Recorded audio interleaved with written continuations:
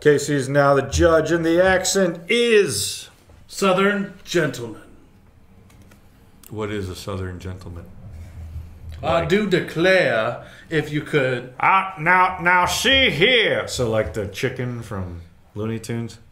Now, I, I say, I say, I say, Probably that would work, yes. KFC, Yeah. This Colonel is- Jim Gaffigan What? Played the part of Colonel Sanders. Oh. All right, I've got. I've been hornswoggled by a wee lad out of my doubloons. He had such a good card for this. Your infinity scarf is so baller.